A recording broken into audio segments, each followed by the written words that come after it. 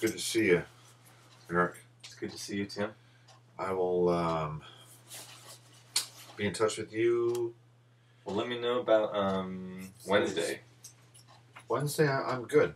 1 p.m. You let me know. 1 p.m. on Wednesday. 1 p.m. All right. Uh, call me Tuesday night. Today's Saturday. Well, I'll call you M- Monday or email you, and we'll just because I'm gonna talk to Jason Monday afternoon. Okay. Yeah. As soon as you know, let me know. I'm there. All right. All right. Thanks, man. Nice work. Good work by you too. Yes. Um, I forgot what I was going to say. Thanks for letting me wear the glasses.